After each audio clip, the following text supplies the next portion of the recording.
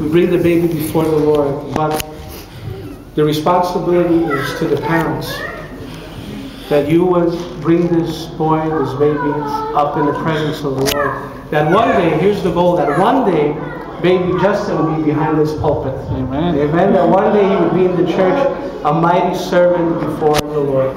That's your responsibility.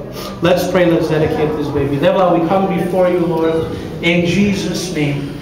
Devil, we thank you, Devil, for baby Justin, Lord.